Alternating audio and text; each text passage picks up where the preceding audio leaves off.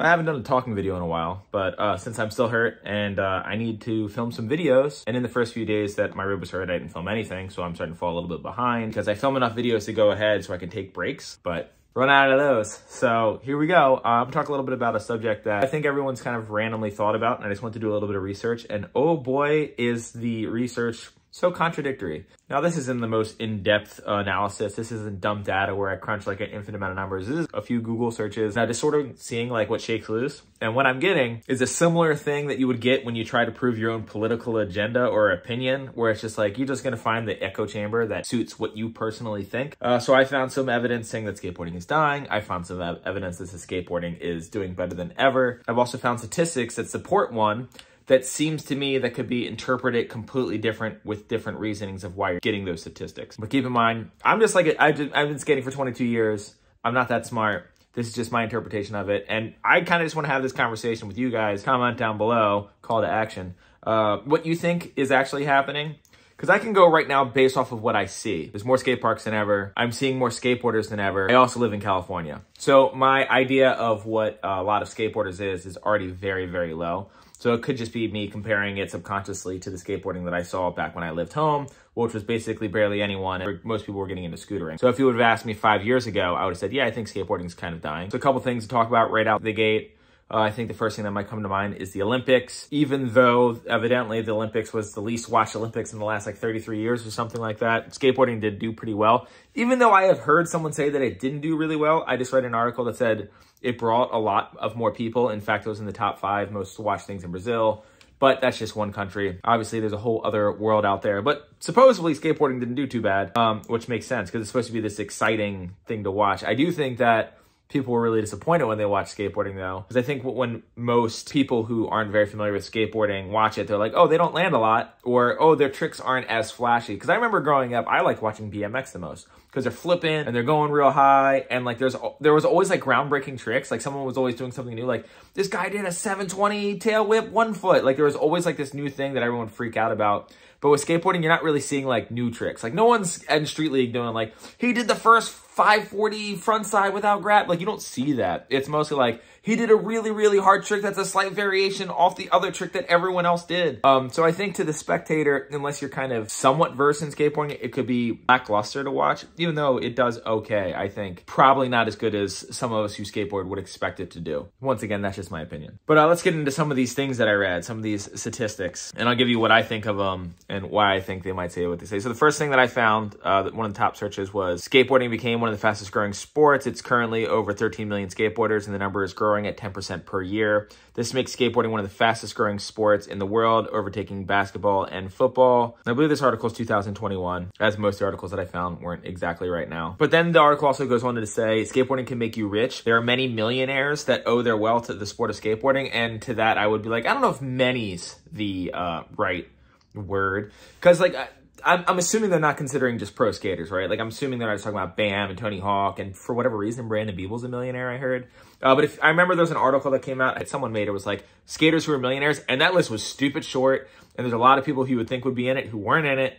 Uh, a lot of people make hundreds of thousands of dollars. Some of the top guys, yes, but millions is that's a that's a pretty tough one to hit. But people who own companies, maybe, uh, or some of the higher ups, I could see considering them and being like maybe some of them are millionaires. But once again, like hard goods and shit like that, there's not as much money in skateboarding, I think, as people assume. Not to mention skateboarding is very much gatekeeping itself out of getting more money for fear of what becoming less cool or it losing its luster or whatever the reasoning may be. Skateboarding has always been, you know, you got to do it because you love it, blah, blah, blah. But also like Red Bull, you guys can come in and Nike can come in too, but like, but not you Count Chocula. It varies. I imagine it's uh, how cool something is or how much money they actually end up just throwing at skateboarding until we finally were like, all right, come on in. But yeah, I, I don't really trust this article just because it's like there's so many skaters who make millions of dollars. It says that just because it says there's many millionaires. I just think many is such an exaggeration. And then it goes on to say skateboarding is safe. Skateboarding is relatively safe and has far less injuries in sports like basketball and baseball and football and soccer. And that's a statistic I'm not sure how to interpret just because it's like, okay, is that like per person, like what your percentage of injury is? Because I do understand why someone playing football would get injured more often. In skateboarding, you're constantly thinking, I don't want to fall and I don't want to get hurt while I try to land this trick. It's almost the first thing that's in the front of your mind. Whereas in like basketball and football and stuff like that, you're probably thinking, thinking, I need this point. I'm probably not going to get hurt because it just seems less likely. It, skateboarding has this like danger factor to it because you're constantly scared. And I think in those other sport, sports, you're not really scared to play basketball. You're pretty like, you're pretty much throwing your body weight into whatever you do, fully committing to it. Uh, in ways that I wish I could do on a skateboard. So in that sense, it makes sense, but I don't know what the actual statistic is compared to each other. That's just what this article is saying. Another thing that it says is the global skateboarding market is expected to grow at a compound annual growth rate of 3.1 from 2019 to 2025. Uh, and I believe this was written in 2021. And I do know that there's a ton of companies coming up. I mean, every day there's like a new board company, and it's really uh, screwing the established companies, that's for sure. Because like when you really think about it, okay, let's say you're a skateboard company, you're a big one. Let's say you're anti-hero skateboards. It's no longer like you're competing with like the top 20 other brands. You're also competing with every like local skate shop and every kid who goes in that local shop has a pretty decent likelihood of buying the shop board because one, it's cheaper. Two, it's supporting something that's literally right in front of their eyes. And then you have to worry about the local companies too. Local shops usually push local companies. So for every skate shop out there that actually has its own skateboard, that's like another brand that you're technically competing with, even though it's like in a small sector. So I think uh, skateboards, I know of a few board companies that I'm not going to say who they are, who are like, they're fucked. Like there's, there's companies that are going under like this year. Like big companies that are going under this year because when the pandemic hit, everyone's selling boards like hotcakes. The orders were through the roof. So everyone put in these crazy orders. Everyone was really backed up, far behind. They sell a bunch of boards, yes, but then they're left with an insane amount of boards when it all slowed down. Uh, when everyone had all this free time um, from their jobs and from schools or whatever, they had time to pick up new hobbies skateboarding was just like popping, man. Plus, people were skating more because they weren't working, so they're going through more product. Uh, now that everything's back to normal, no one's buying boards right now. Like, I know that for like natural fact from several sources. No one's buying wood right now with the exception of extremely, extremely few companies. I mean, like, count them on half of one hand companies are uh, buying wood right now because they're actually still selling boards. So that's gonna probably not be great for skateboarding. But what I think we're really talking about right here is skateboarding participation because the struggle of the industry obviously will reflect on the struggle of how fast it grows because of marketing to people outside of skateboarding. But it says the market value is 1.9 billion right under that. Uh, at a, di a, different article wrote this uh, in 2018, but before before the pandemic hit, but is projected to reach 2.4 billion by 2025. And now they're saying it's even likely to grow even more. And as I'm reading these things, I'm thinking to myself, am I actually seeing more people at the skate park? And I really do think I am because there's so many new skate parks popping up. I mean, the amount of yellow skate parks that have popped up within within a few golf swings of me has gone up quite a bit. And with all these new skate parks, you think it would really make a lot of the older ones empty. But uh, for every new skate park that pops up, I'm, I'm sorry, El Sereno is always going to have a lot of people. Chevy Chase is always going to have people there. In fact, they don't seem to be getting any less. And the new skate parks are still super crowded. So so I, I feel like it's it's getting bigger based off of whatever I'm seeing in my very small window of California. But I will also say I was just back home on the East Coast for just shy of a month, and I did go to skate parks. I did go street skating, and it was definitely more skaters than I've ever seen over there before I moved away. Like I said earlier, when I moved, it just seemed like skateboarding was kind of like falling apart. And then right under that, it says the popularity of skateboarding in the United States peaked in 2020 and 2021, nearly 8.8 million annual participants above the age of six. In the previous years, the numbers of skateboarding in the United States had been stagnant around 6.4 million. I don't know how they're pulling these numbers about how many people are riding skateboards. And I guess these this other article that I get into that says the exact opposite, so skateboarding is dying, provides some of the numbers that they're coming up with. So we'll get to that when we get to that. What in fact, which in fact I think is the next things that we're getting to. I don't know, but how do you how do you find these numbers? Are you compiling like sales of boards and assuming every board is for another skater? Or uh, is this based off of public skate parks that have people keeping track of the skaters that come in and out? Or is this some sort of guesstimation of all these different numbers? I don't know. I believe it's Steven Wright who said 61.3% uh, of statistics are made up right on the spot. Though it could have been Mitch Hedberg, one or the other. So let's look at the article that says skateboarding is dying. Fewer people are looking for skateboard skateboards and skate parks online than ever before, as shown by the fact that skateboarding searches on Google has decreased. Industry studies show skateboarding's involvement is down for nearly every age group, including the youth. Participation in skateboarding has declined in the past 10 years, parks less crowded than they have ever been. Skateboarding companies are closing. Okay, well, I think the skateboarding companies are closing can definitely be explained by the fact that there's just more companies than ever. Everyone in there, every pro skater who's at the end of their career just decides that they want to try to start a company because they're like, oh, I have 100,000 followers on Instagram. maybe if I could sell a board to like this many of them, I'll be okay. But the problem is everyone else is doing that and you're not, you're competing with everyone. You're taking sales from everyone. It's just an oversaturation. I also think that that's the reason that in YouTube, you see some of the bigger channels like Braille and stuff, uh, numbers like really slow down because there's just a lot more people doing YouTube now. And they no longer have like eight options. It's no longer like Chris Chann, John Hill, Braille, Revive, individual dudes from Revive team, Brian Arnett and Skate Rat. Like now there's like just like a fuck ton of us. So the numbers are just being spread out uh, among other people. And I think that's luckily for like truck companies and stuff like that. No one's really fucking around with that. No new shoe companies are really coming out except for Kariyama and well, we're all seeing how that's going. Think about how important Emerica was eight years ago, 10 years ago. Like Emerica was like the skateboard shoe company and now no one really cares. I mean, I feel the same way about a lot of board companies. Like all the main board companies that I grew up looking at that was like, this is like our core. Like now it's like, you know, Polar and shit like that.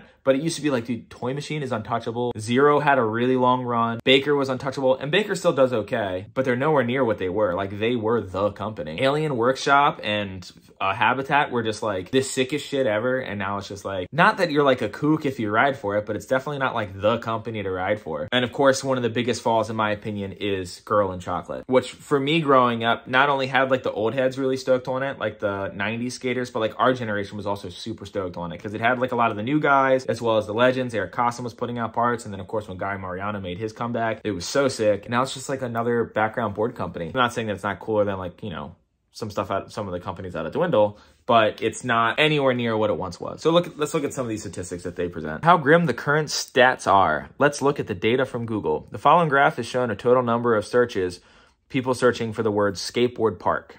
And it's just like it, I'll put the image up here, somewhere over here maybe. Uh, yeah, the graph is very like on, on the way down.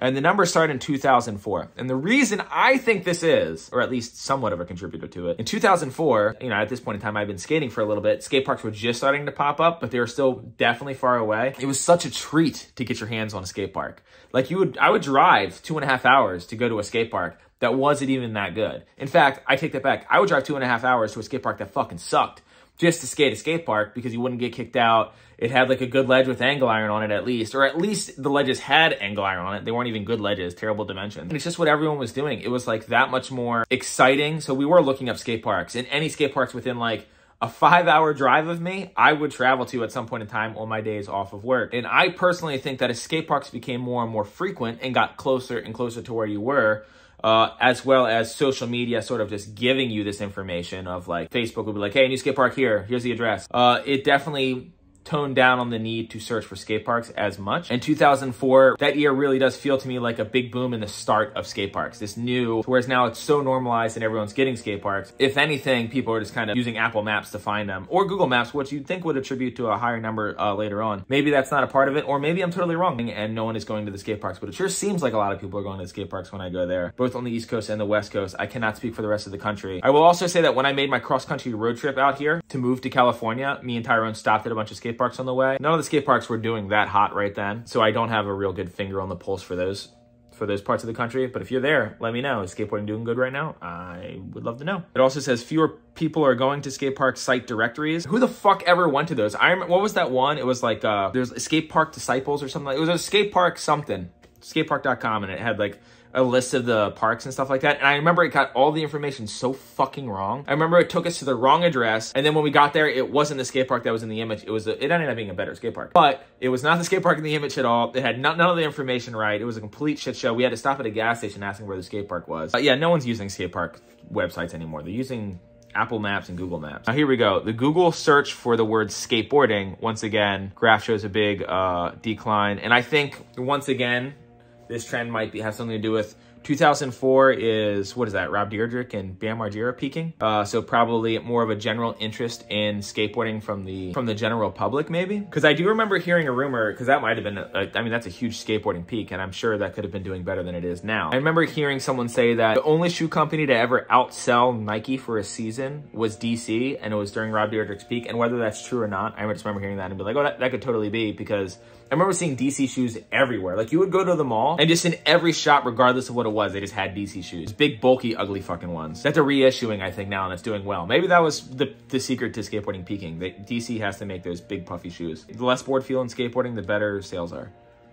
For everybody. But once again, I think skateboarding has become so normalized that I think that less people are just searching the word skateboarding. Or simply the general public's interest in the word skateboarding is much less. And I think it does say something that it came out of this mainstream like Bam Margera, Rob Dyrdek, Tony Hawk hype, and then sort of turned into this fashiony, everyone's collabing with skateboarding, underground hype, which honestly is like a whole other type of hype. It might not be as spoken, but it still does really well. Cool always sells, and skateboarding is really cool right now. I always make the joke, I used to not have friends because I skated. Now a lot of people are my friends because I skate. Skateboardings have be kind of become the new jocks. Like I see it at skate parks where like, you know, you see like a lot of old heads talk about like, oh, like skateboarding used to be like a safe place for like us nerds. And now skateboarders are like, you know, yelling at other people for being nerds, for not skating the same way. And we've always had gatekeeping in skateboarding. It's, that's nothing new, but it definitely seems to be more potent and more mainstream now. It used to kind of be like the kids who rode for the local shops would chit chat at skate shops and talk shit on this, that, and the other. And it didn't really go much further than that drama between skate shops or saying that this company's whack or whatever. But now it's like so over the top. Like I'll go to a skate park and just hear kids talk like there's so much emphasis on like someone's drip these days. Like, oh, look at his outfit. For a lot of kids, it seems like it's more important for the way that someone looks on a skateboard than the way that they ride the skateboard. But that also could be because everyone's so good at skating now. It's just like, oh shit, well, it's hard to differentiate this dude who's insanely good from this dude who's insanely good. So let's talk about how dumb his shoes are. So who knows? I don't know. I actually don't believe that. That's just me talking shit. So right here, it says that participation in the last 17 years decreased from 8.75 million to less than 4 million, which, uh, yeah, those these numbers are just all over the place. Youth participation has dropped 50% in the last seven years. And once again, I don't know where they're getting these numbers from. A little bit later in this article, it talks about how, you know, it's like skate parks are just like taking a huge hit. They're talking about less attendance. And it's like, okay, well, if there's someone who's keeping track of attendance, they're either charging, they're either enforcing helmets, or they have open and close hours. And those three things right there, skaters just don't go to them. There's too many free skate parks now. And there's no way that they're actually surveying how many people are going in and out of these skate parks. I'm sorry, it's just not happening. There's way too many skate parks in the middle of nowhere. And I can certainly see how back in the day when I grew up skating, all the skate parks were like that. So they probably were keeping track of all those numbers. And if everyone's being filtered into these very few skate parks that require this, versus now you're not keeping track of 99% of the skateboarders going to all these skate parks. I could definitely see how it would make it seem way less participation. Not saying that that is what is actually happening, but it certainly seems possible. It also goes on to scooters swarming local skate parks because uh, Gen Z seems to be more into scootering than skateboarding. And so in California, there's not as many scooters as the rest of the country. At least where I was living in Pennsylvania or Maryland, the scooters at skate parks would outnumber skaters almost every single time. Uh, like 80% of the time, and like usually greatly so. My local skate park became a scooter skate park. But when I went back, that wasn't the case anymore. So I don't know if scootering necessarily tapered off or they found their own little parks and there was a little bit of like segregation or something like that going on. But I will say that the number of scooters definitely seemed to be dwindling and the skateboarders were right back where it was when skateboarding seemed to have peaked for me on the East Coast where it seemed like everyone was skating around 2012 is when I was like, man, everyone skates, which these numbers aren't reflecting it, but that's what I saw with my own eyes when I lived uh, in Maryland. And I was making trips to New York and I was going to North Carolina. I was doing all this traveling for, filming video parts and skating skate parks and etc. Then it also says this, like a dead skateboarding brands. And then it also, I thought it was funny that it had blind listed here. Like the companies that it has is New Deal, Axion, which came back, Hubba, 401, The Skateboarder magazine, which has been gone for, this article is like so behind. And then it has City Stars and Blind. City Stars just kind of made, made a came back, I think. Uh, Blind's still here. Definitely seems like a dead man walking, like their entire team just left. In fact, I know a lot of people leaving over in that camp for, but yeah. Yeah, like I just really have trouble trusting this article, and they're not really, they don't really seem to give any other sources. It says Nike's skateboarding team retains big names like Eric Koston and Paul Rodriguez, so it's unlikely we'll see Nike SB's demise soon. And it's like, that's not the big names that Nike has anymore. Like this is, it says, it's saying 2020, but this, these names, and it's just not all adding up. And this one's a kicker for me. Pro skateboarders like Tony Hawk, Greg Lutzka, and Dan Murphy have recently seen sponsorships either reduce their salaries or say their farewells due to the bad economy. And what's really interesting about that is, okay, uh, Tony Hawk, obviously, anything involving him and money makes sense.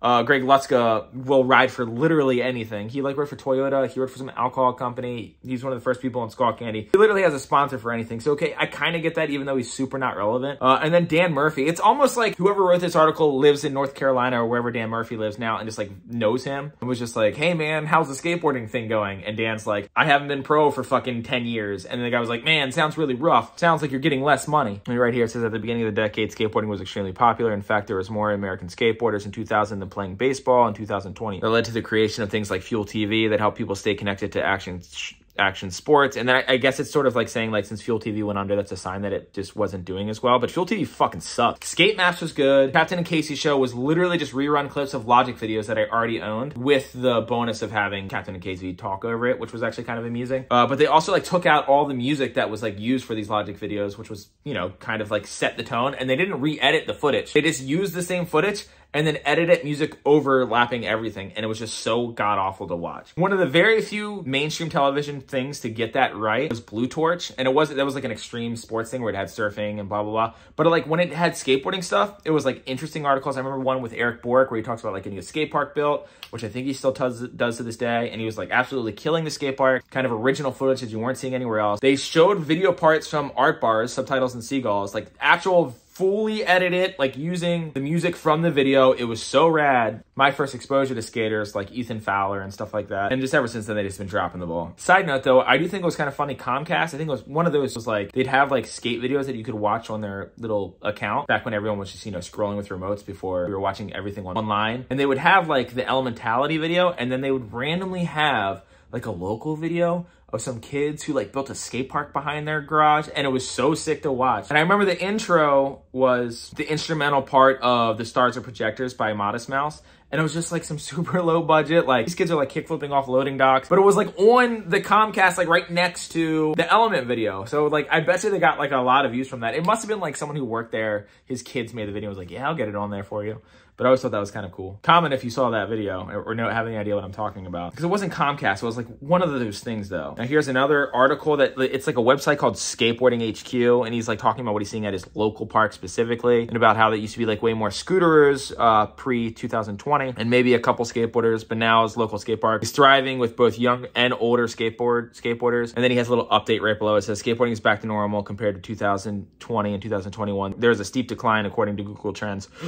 So what he's saying is skateboarding seemed to make a comeback in 2000 and then went right back to dying, but that's according to Google Trends. And I don't, I don't fucking, there's just way too much to go into statistics to try to interpret, interpret them at like face value. I, what, what, was that one uh, little documentary was called? They talk about polio and about how it would spike during the summer. So there was like all these people who thought that what was causing polio was ice cream because they didn't think right out right out the gate that maybe the heat was making it be more active and transferable. So you can really interpret statistics any way to suit you if you need more information on that, go watch Fox News and then watch another news network and be like, oh, same statistics, completely different reasoning. More stuff about the skateboarding market size. Oh, here's a nice little uh, thing showing that skateboarding separated into street boards cruiser boards, and longboards and other. I want to know what other is, by the way.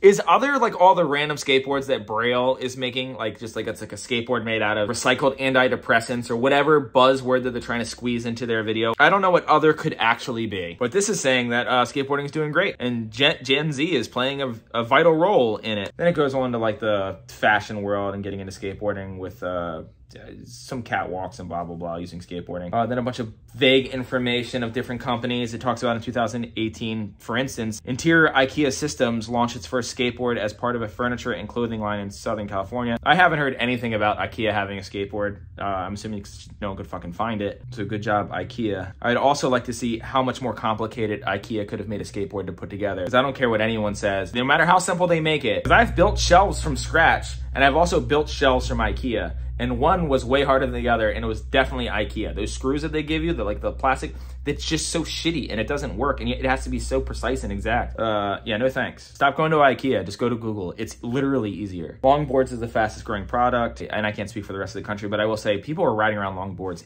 everywhere in California, like just to get around. Like, like for every Lime scooter that I see out here, I don't think have Lime scooters every, everywhere, but there's electric scooters that the cities will rent people. I see like five longboards, and then and then teenagers are the number one people who ride a skateboard. So yeah, that's all the information I saw. That's my opinion on all the information. I don't know if I think skateboarding's dying.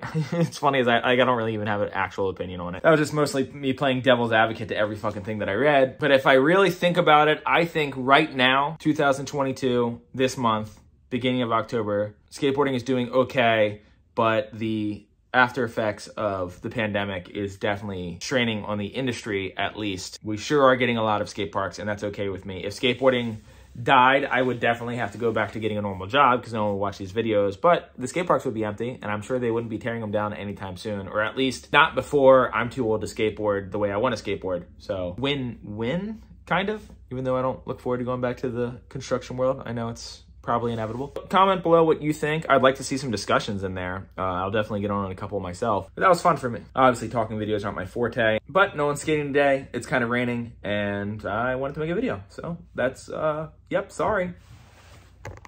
Well, that sucked.